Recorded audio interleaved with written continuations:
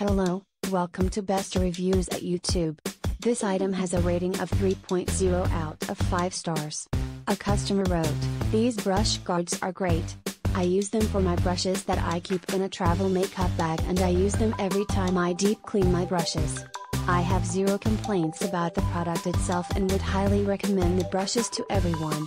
However, I recently ordered 4 new packages and 2 of the 4 were mislabeled.